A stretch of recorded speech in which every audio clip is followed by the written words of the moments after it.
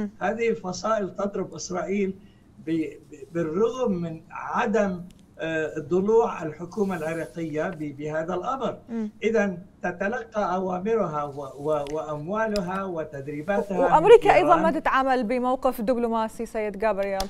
يعني دا نشوفها أنه أمريكا منخرطة بالحرب بشكل مباشر. دا نشوف أكو منظومة ثاد دا نشوف بي 2 بالسماء دا نشوف بالبحر أكو غواصات وبارجات أيضا هي مشاركة بالحرب.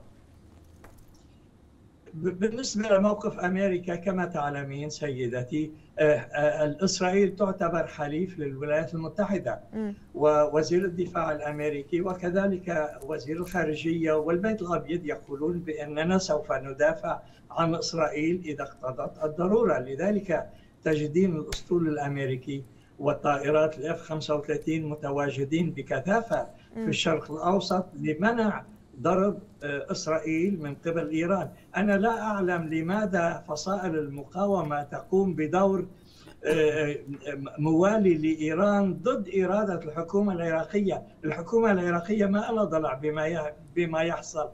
هناك مسائل دبلوماسية بالإمكان التحدث عنها من خلال مجلس الأمن من خلال من خلال يعني المؤسسات يعني ممكن الدولية. اليوم سيد جابرييل يعني اليوم اللي دا تسويه أمريكا فقط لأنه إسرائيل حليفتها ما هو أكو حلفاء أيضا لأمريكا. يعني مثلا العراق يعني ممكن راح تسوي هذا الشيء للعراق أيضا؟ العراق حليفة.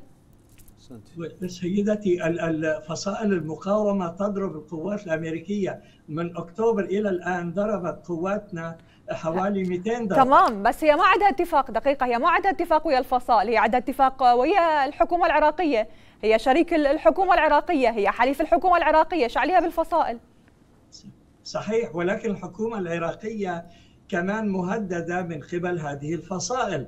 الحكومة العراقية لا ترضى بما تقوم به هذه الفصائل بضرب إسرائيل أو بضرب القوات الأمريكية. ولكن هذه الفصائل مدعومة من إيران تقوم بهذا العمل بغض النظر عن عن الوجود الحكومة العراقية أم لا.